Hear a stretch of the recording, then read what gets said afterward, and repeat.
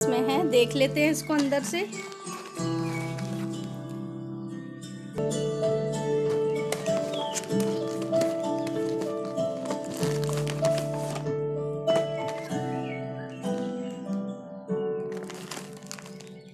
पीछे से थोड़ी टूट गई हैं क्योंकि ये काफ़ी क्रिस्पी होती है खाने में।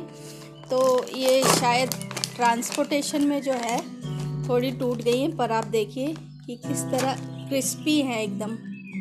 ये देखिए।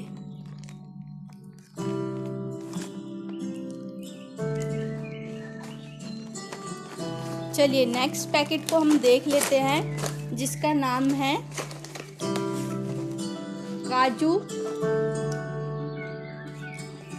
nankhatai cookies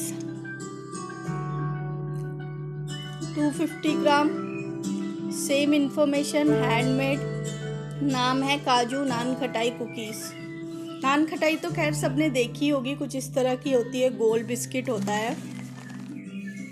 अब देख लीजिए, इसका जो प्राइस है नाइन्टी रुपीज़ है। ये इसकी न्यूट्रिशनल इन्फॉर्मेशन है। ये एक प्यारा सा पैक इन्होंने बना रखा है। चलिए, इसको जल्दी से हम खोल के देख लेते हैं किस तरीके का। एग्जैक्टली सेम नान खटाई की तरह है ये, जो गोल है। और बहुत ही क्रिस्पी और टेस्टी है, होता है ये खाने में।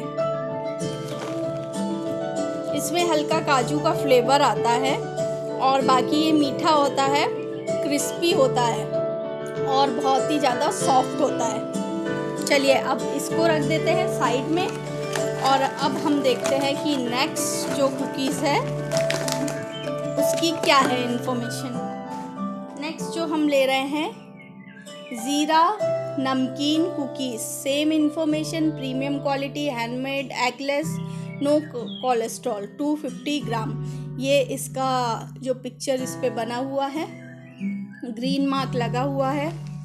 न्यूट्रिशनल इन्फॉर्मेशन ये है पीछे। और ये देखिए, ये इसका प्राइस है फिफ्टी फाइव रुपीज़ तो चलिए, इसको मैं कर लेती हूँ ओपन और आपको दिखा देती हूँ। कि ये कुकीज़ जीरा जो कुकीज़ है, वो किस तरीके की है? ये देखिए स्क्वायर शेप की छोटी छोटी कुकीज़ हैं।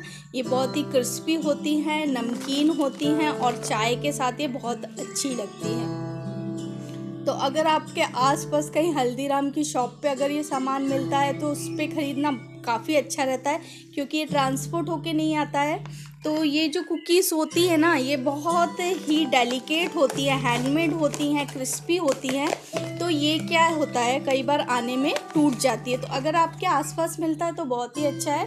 नहीं तो कोई दिक्कत नहीं है, थोड़ी बहुत टूटती है, लेकिन बाकी ठीक आ जाती है। अभी देखिए नेक्स्ट है काजू बटर कुकीज़ ये देखिए, इसमें जिस तरह स्क्वायर शेप की कुकीज़ है सेम वही इसके अंदर निकलती हैं। उसके ऊपर काजू लगा होता है और ये बटर से कुक हुई होती हैं। ये इसकी न्यूट्रिशनल इन्फॉर्मेशन है। इसका प्राइस है सेवेंटी फाइव रुपीज़ मैं आपको ओपन करके बता देती हूँ कि ये जो पैक पे बना हुआ है एग्जैक्टली सेम अंदर वैसी ही कुकीज़ निकलती हैं। ये देखिए। देखिए, आप दोनों को कंपेयर कीजिए। ये देखिए, ये जो बना हुआ है डायग्राम और ये देखिए। ये सेम एग्जैक्टली होती है। इसकी तरह ये क्रिस्पी होती है, मीठी होती हैं और चाय के साथ बहुत अच्छी लगती है खाने में। और अगर कोई एजेड इंसान हो, उसके लिए भी अच्छी होती है, क्योंकि ये काफ़ी जल्दी चाय में जब हम डिप करते हैं तो जल्दी गलती हैं। नेक्स्ट देखिए, हमारी है पिस्ता बादाम कुकीज़ और ये जिस तरीके का इसके पैक पे बनी हुई है रेक्टेंगल शेप की सेम इसी शेप की होती है। और इसके ऊपर पिस्ता का इसी तरह से कोटिंग होती है।